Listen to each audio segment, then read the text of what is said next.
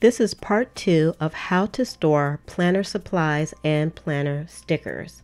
So today I'm going to be going over the second tier from the bottom, which is actually tier three, and that's going to be notepads, sticky notes, accessories, and planner crafting supplies.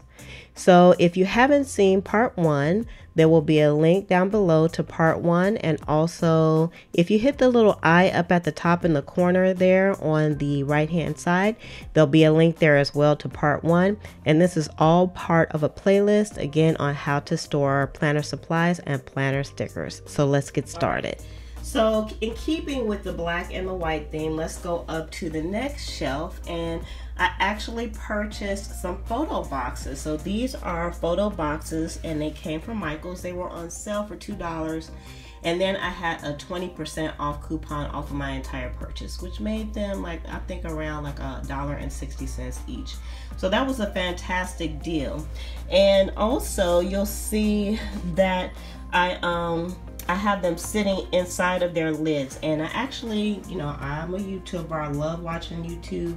And I saw some people, well, I saw one lady in particular, and again, I can't remember her name because I watched so many videos.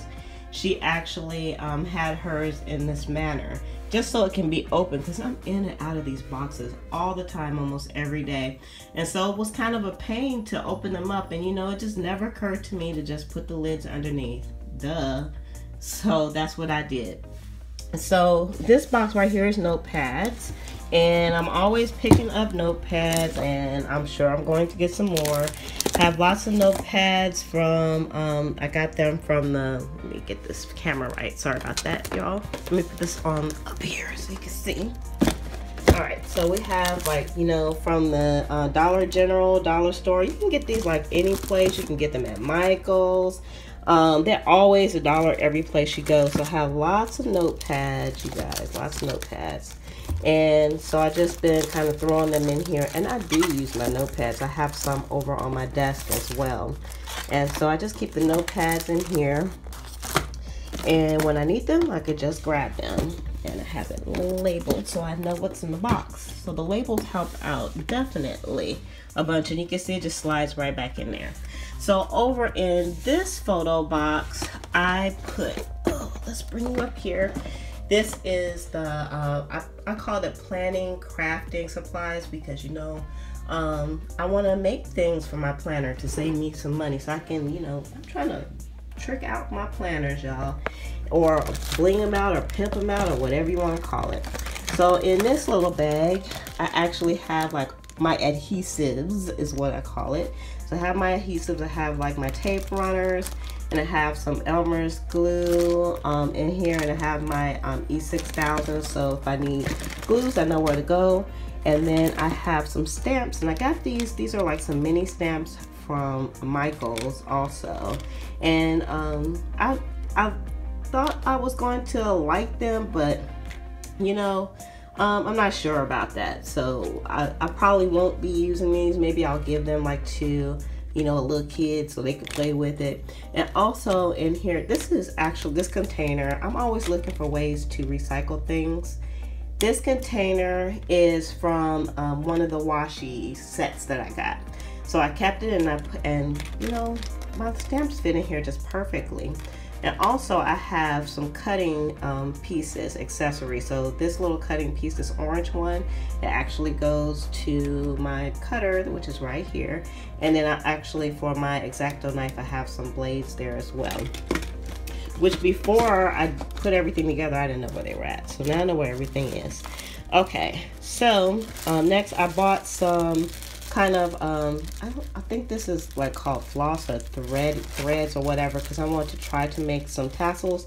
And since I wasn't ready to make the tassels just yet, I just put them like in some um, snack size Ziploc bags and uh, I love Ziploc bags, you guys. And but I don't throw my bags away.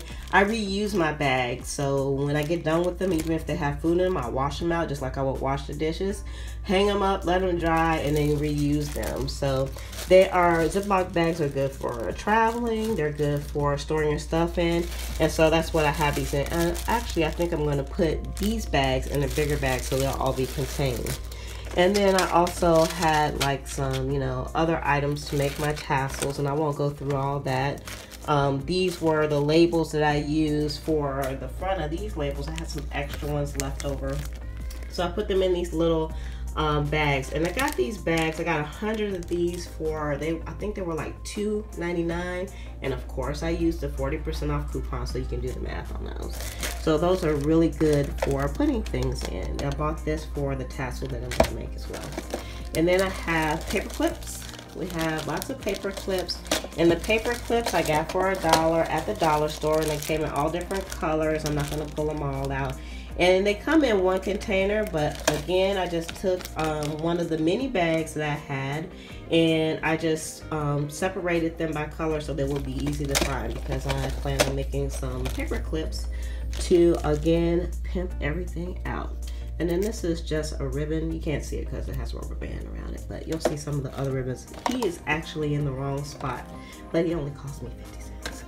Anywho I digress. And then I have my um, my actual uh, tweezers. And these are the tweezers that I use when I'm doing planning because you know it's hard to pick up small stickers and put them down um, because you can't see because your fingers in the way. But when you use tweezers it makes it easier. And of course I got that from somebody else's YouTube channel that I don't know who it is so don't ask because I don't remember. Okay.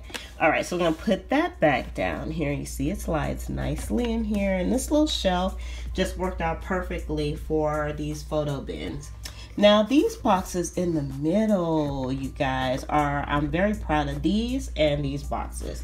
These boxes actually um, are remnants of uh, from Apple products. So if you know anybody that has Apple products, they probably kept the boxes because those boxes are great quality and you can store things in. I actually went to the Apple store and I asked them about the boxes um, what do they do with the ones that people leave? And they said they had to destroy them because they have information on them so it made sense. But I'll just show you briefly in the boxes here. This one is listed sticky notes and you can see.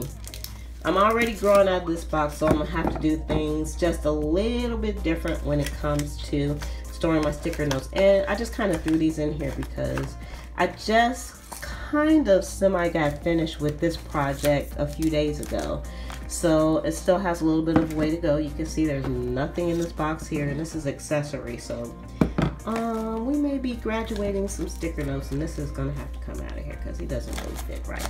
But so those are sticky notes and of course if you um, you recycle yours and you can see these boxes are like super sturdy you guys. And so if you ever get any Apple products the boxes are just a weight and go when it comes to having extra. And I just set them on top of each other um, be, depending because this was the top and this was the bottom. And so if you put it you just turn it on the other side you can use that one for storage also. If you want a closed box of course you can just use it as one box but I kind of maximize my space here I hope you're enjoying the series so far. And if you are, make sure you give this video a thumbs up. And if you haven't subscribed already, make sure you subscribe. And if you have, then thank you.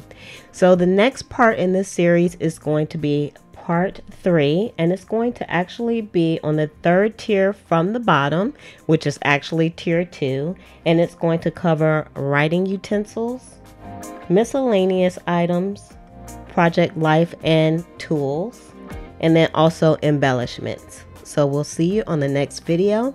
So with that, love, peace, and hair grease from your sweet Lotus Blossom and lovable Lizzie. Have a fantabulous day and enjoy life.